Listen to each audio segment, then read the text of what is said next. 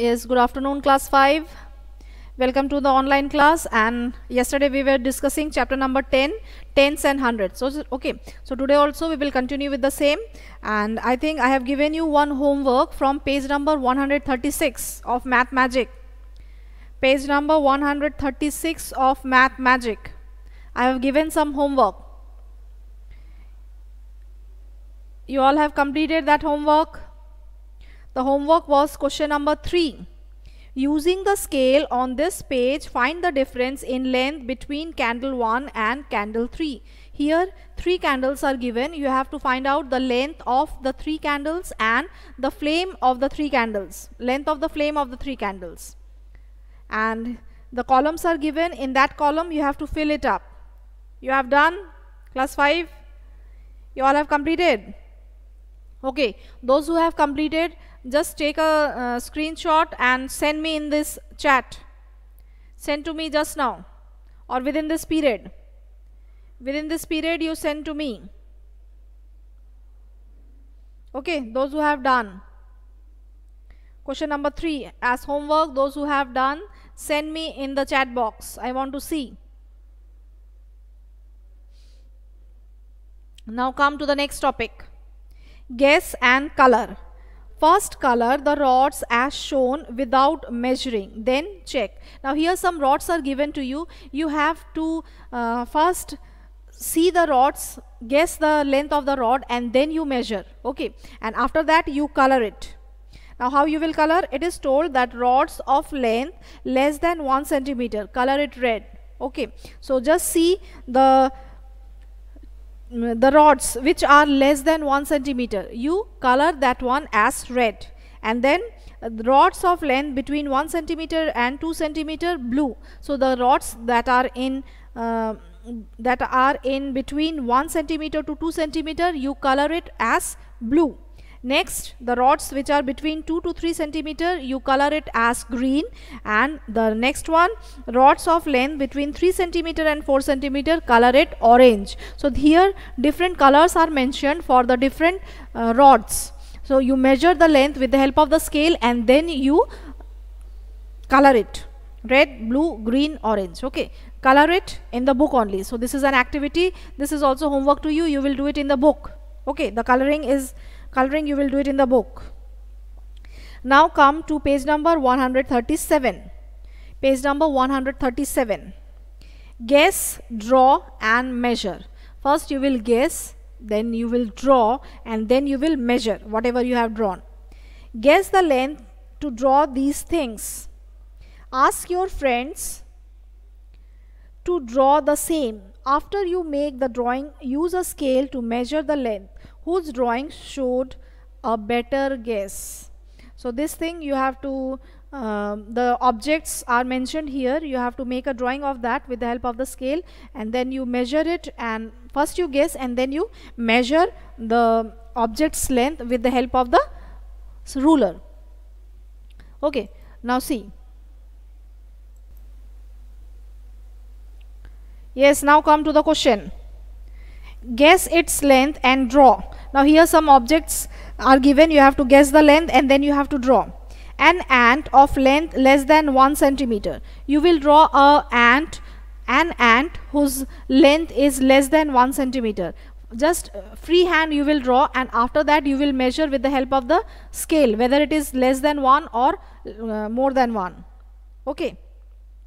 Next drawing is to be made for a pencil of length about 7 centimeter. You just assume one length 7 centimeter and with that you draw one pencil and then you here you are not getting your friend's drawing so only you will uh, draw the pencil and you will only measure the length whether it is 7 or more more than 7 or less than 7 similarly a glass 11 centimeter high with water up to 5 centimeter. Take a glass of 11 centimeter, uh, take the measurement and then you try to draw in your copy. And it the water level inside that is 5 centimeter. Next, a bangle of perimeter 20 centimeter. Next, you have to draw a bangle. A free hand you will draw a bangle whose perimeter is near about 20 centimeter. Then you measure it. Then you measure it. Okay. Next, a curly hair of length 16 centimeter. Now this thing is very impossible for me. A curly hair you have to draw and its length is 16 centimeter. Okay its length is 16 centimeter. You have to draw it so these things it is an activity you have to do of your own okay? But here one more column is given measure of your friend's drawing. So since you are not getting your friend so leave that column only you draw measure of your drawing. That means whatever you are drawing you have you will measure only that one. In this type of questions you are getting an estimation uh, about your guess and the accurate. That means whatever you are drawing uh, you are drawing the estimated isn't it? You don't know actually. So uh, you are getting an idea of uh, whatever you are drawing the estimated drawing and the actual drawing. Okay so this is just uh, giving you an idea uh, that by seeing you can say what is the length of the objects. Just a guess you can do isn't it? Suppose I am taking um, I'm taking a small chalk okay? So I will not say that the length of this chalk is uh, 0.5 centimeter. Can I say? The length of this chalk is 0.5 centimeter? No no what I will say that the length of this chalk is near about 4 centimeter. It is near about 4 centimeter. This is my guess okay? Because I have an idea that this type of object will have the length as 4 centimeter. Whereas if I am taking a small chalk this much okay I will not say that the length of this chalk is 4 centimeter because I have an idea that the length of this chalk will be less than 4 is isn't it? It is near about 2 centimeter. Okay so this is uh, this is just to have an idea that what type of length the objects have. This is giving give this type of experiment or this type of act activity gives you an idea that uh, just an just roughly you can say that this is of this this much length. Okay. That's why this activity i'm telling you yeah, that you should do it at home. Okay. Now come to the next one. Our eyes get confused. The next topic is our eyes get confused. Which line is longer a or b measure each line and write how long it is in centimeters. How good is your guess? Now just see line A and line B. Here two lines are given. By seeing the two lines you will say that line B is longer than line A isn't it? Isn't it? You will say that line B is longer than line line A. But actually actually what? Actually both are of same line same measurement. Line A and line B both are of same measurement. That means they are equal. Okay. So just because of the directions it is shown in the book the length is looking different.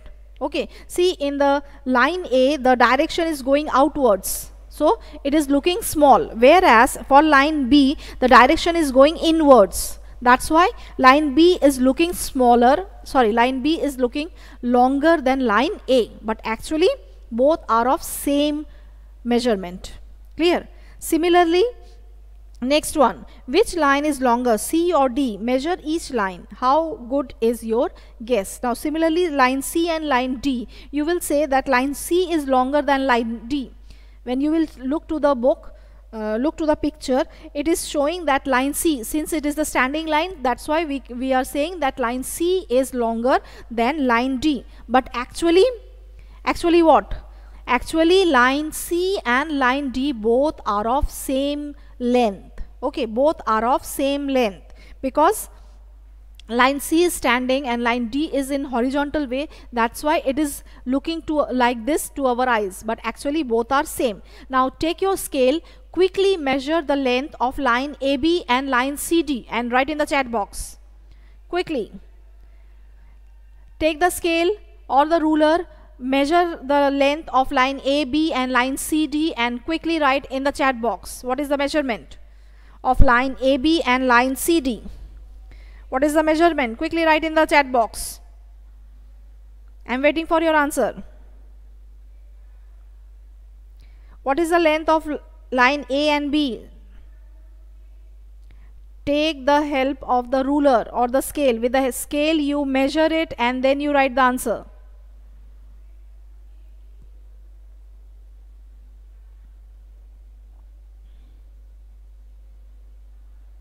line A and line B.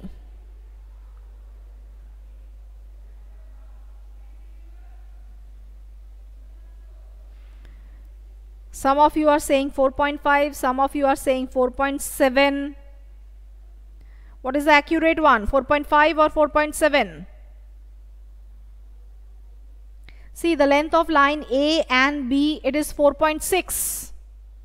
It is 4.6 not 4.5 it is 4.6 now quickly uh, see the length of line C and D.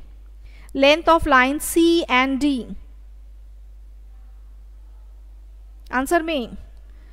Length of C and D line C and D what is the length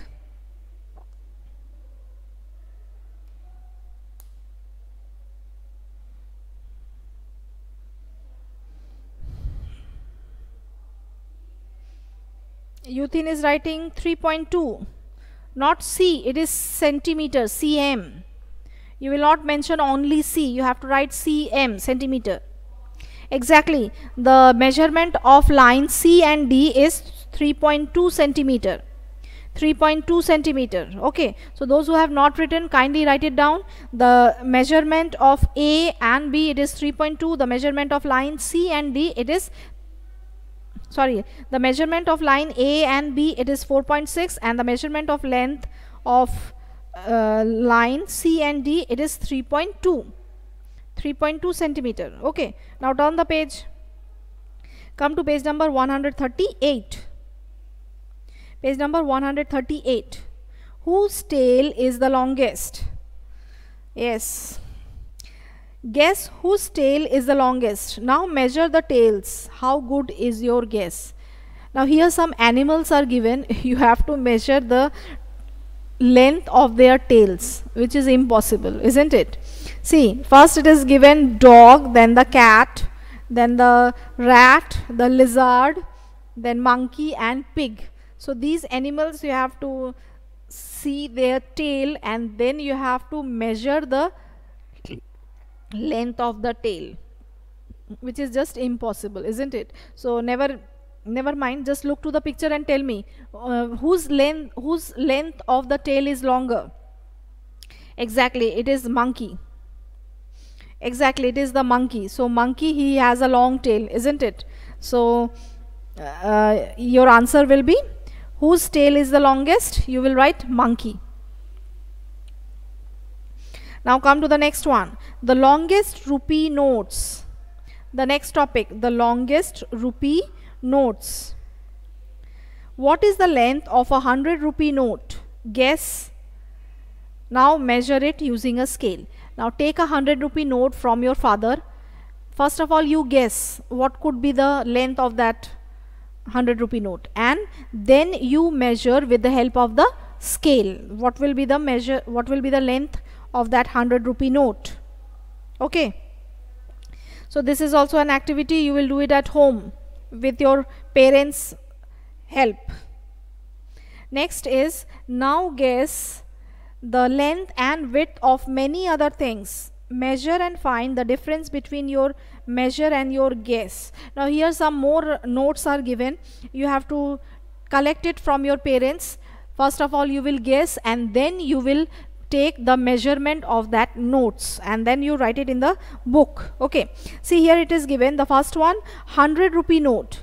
You have to take the length and the width. And you all know the longest sized the longest side is the length and the smallest one is the breadth. Okay. So the longest uh, side will be the length the big and the smallest will be the width. So you will take the length and the width of the 100 rupee note, then 10 rupee note, 20 rupee note and 5 rupee note and write it in the book. Postcard, math magic book. Uh, postcard is not available nowadays but math magic book you all have so you can take the length and the breadth of math magic book and you can write it over here. And even the rupees also. All these rupees you are getting and you can write it in the in the book. Okay? So this activity is also homework to you. You will do it at home clear? Now next topic. At the market. Now here some objects are given which is being sold in the market. Okay uh, what is given? First one is the egg. Its cost is given rupees 2.50 for one egg. The cost of one egg is given rupees 2 and 50 paise. Then the cost of a bag is rupees uh, 120 and 50 paise. Then the cost of a pen is rupees 6 and 50 paise. Cost of slippers is rupees 32 and 99 paise. Cost of matchbox is rupees 50 0.50 sorry not rupees 50 it is rupees 0.50 that means 50 paise. And for soap it is given rupees 8.75 8 rupees and 75 paise. And after that there is a clock not clock it is a flower whose I think it is a wall hanging. Its cost is given rupees 567 and 25 paise. So these things are being sold in a market and based on these things there are some questions in the next page. You have to answer it. Okay come to the next page page number 139 see what the girl is saying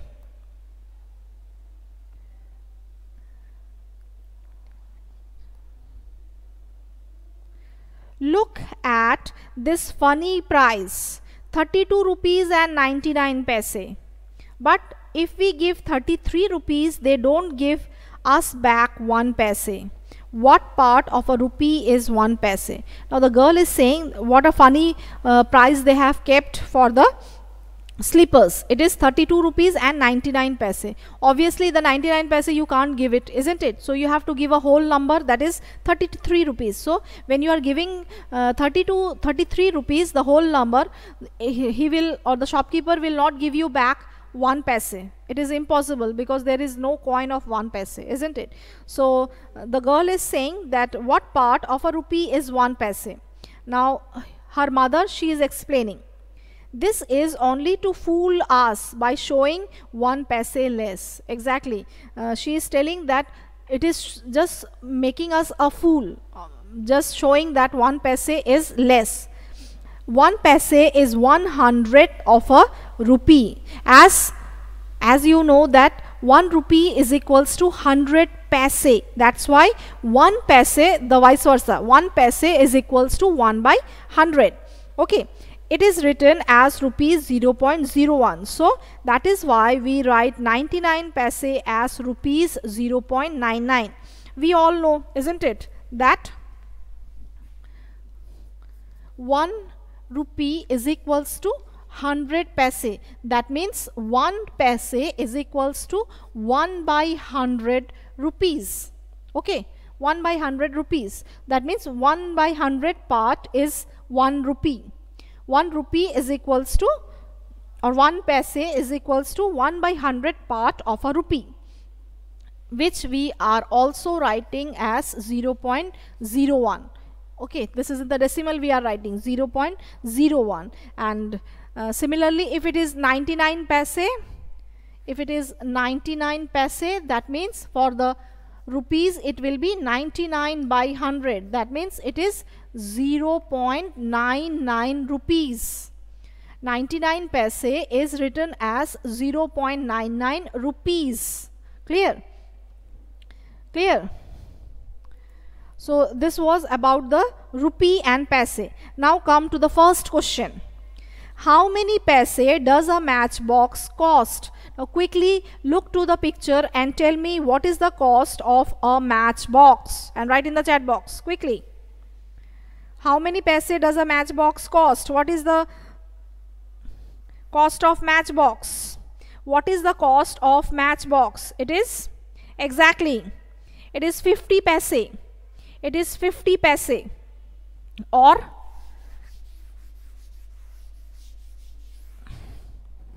This is page number 139. Answer 1. 50 paise or rupees 0.50. 50 paise or rupees 0.50. Okay, now the next question. How many matchboxes can be got for rupees 2.50? For rupees 2.50, how many matchboxes can you get? Can you get how many? See, cost of cost of one matchbox is equals to 50 paise. Therefore, from rupees 2 and 50 we can get match box is equals to not box it will be boxes. Match boxes is equals to how much? Rupees 2.50 divided by rupees 0.50 50 paise can be written as 0.50 isn't it? When you will divide when you will divide it will come 5 isn't it? It will come 5 so you will write that 5 match boxes can be got. 5 match boxes can be got for rupees for rupees 2.50 okay. Understood. You have to divide and write the answer so 5 match boxes can be got for rupees 2.50 okay. Now come to the next question. How many rupees does the soap cost? How many rupees does the soap cost? This is question number 3 write the answer for question number 3 what is the cost of the soap?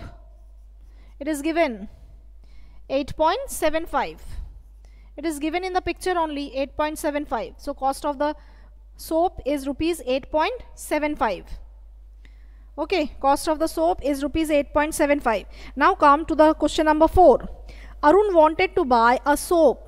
He has a 5 rupee coin two 1 rupee coins and 4 half rupee coins. Write in rupees what money he will get back. So here first of all you have to find it out.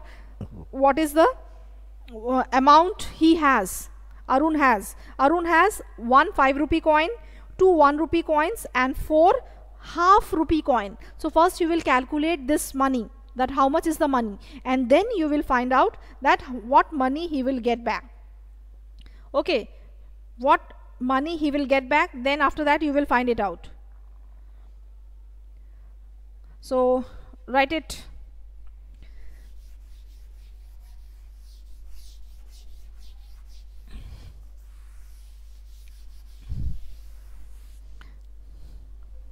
just write total money with Arun. Total money with Arun. Uh, this is number 5 no not number 5 it is 4 I'm directly writing okay. Total money Arun has is equals to rupees 5 into 1 that is 1 5 rupee coin. Then plus 2 1 rupee coin. That means 1 into 2 1 into 2 plus 4 half rupee coin. Now see half rupee. 1 rupee means 100 paise isn't it? 1 rupee means 100 paise. So half rupee means 50 paise 1 rupee means 100 paise so half rupee means 50 paise. So he has coin of 50 paise 4 so you will write rupees 0.50 into 4 clear? Now uh, take out the calculation uh, take out the money. 5 into 1 rupees 5 plus 2 into 1 rupees 2 plus uh, 50 into 4 that is 20 that means rupees 2 so he has rupees 9 isn't it? He has rupees 9 with him. But the cost of soap is rupees 8.75 you will write cost of soap is equals to it is given in the book rupees 8.75 and he has rupees 9 so Arun will get back. Arun will get back money isn't it? Arun will get back rupees 9 minus rupees 8.75 with this 9 he has we have to subtract this 8.75 okay subtract it. Rupees 9 and 8.75 subtract and write the answer. See 9.00 and 8.75 subtraction 5 7 plus 1 8 9 10 and 0 that means 0 0.25 so 0.25 or 25 paise. Here you will write 0 0.25 or 25 paise. He is getting back 25 paise isn't it? So you will write the answer that Arun will get back 25 paise. You will write the answer that Arun will get back 25 paise. Arun will get back 25 paise. Okay. Arun will get back 25 paise.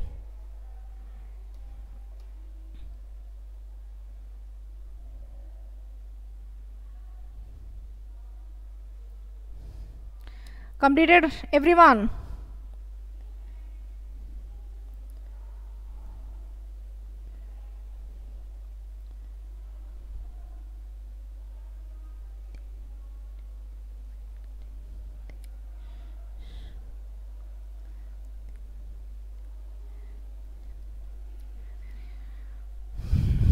Okay I think you have completed. Yes uh, question number 5 we will do it in our next class okay? Today up to this only. So whatever we have done you once more you practice in your rough copy okay? That means this calculation how we have calculated. So once more you practice in your copy and uh, regarding the homework the activities you will do it and you will write in the uh, columns given in the book and then in the next class again in the live you will upload that homework. Okay. So bye all of you for today